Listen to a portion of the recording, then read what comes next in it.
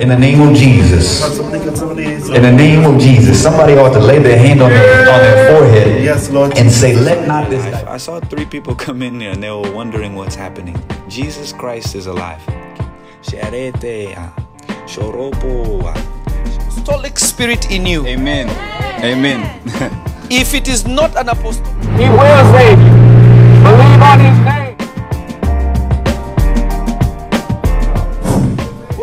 Fire falling.